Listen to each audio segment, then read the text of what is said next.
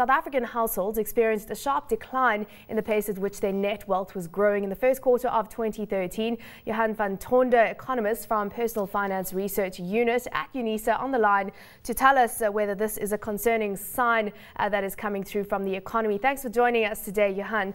Uh, so, if you look at that uh, seasonally adjusted figure, uh, that annual figure there on a real basis, our wealth on average in South Africa increasing just above 2% for quarter one, and that, of course, relative to a sharp increase in quarter four last year. So, overall, uh, what are the key factors driving uh, the slow pace at which we're getting richer, basically?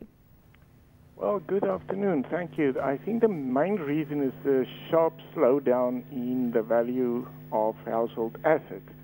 And we know that the main component of total assets is financial assets. In other words, it's our investments on the financial market.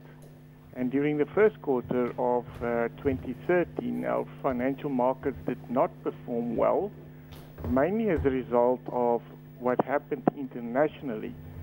So, if I can put it that way, the negative impact internationally had a profound effect on the growth of uh, South African households' mm-hmm. assets. Mm-hmm.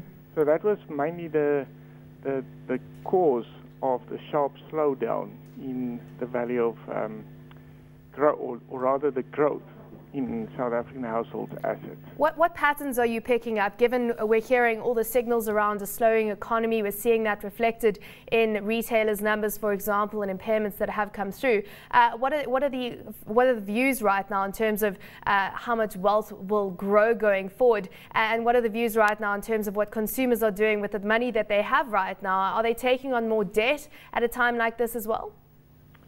Yes, but at a much slower pace. I think the numbers um, that we did uh, basically forecasted that there would be a, a large or, or, a pronounced slowdown in the total take-up of households. And we can see that because a, a lot of the times they use the assets or the liabilities rather to purchase from retailers. Mm-hmm. And with a sharp slowdown, we see, we can also see in retailers' profits that uh, the numbers are not coming through, and the same with uh, some of the banks uh, providing unsecured loans. Yeah. But both those slowed uh, considerably during the second quarter, or as well, not just in the first quarter. So. Um, because of the slower take up of loans, we see slower spending and in a way, that also contributed to net wealth um, not declining but increasing, mm-hmm. simply because uh, assets increased a little bit faster than the increase in our liabilities. Mm-hmm.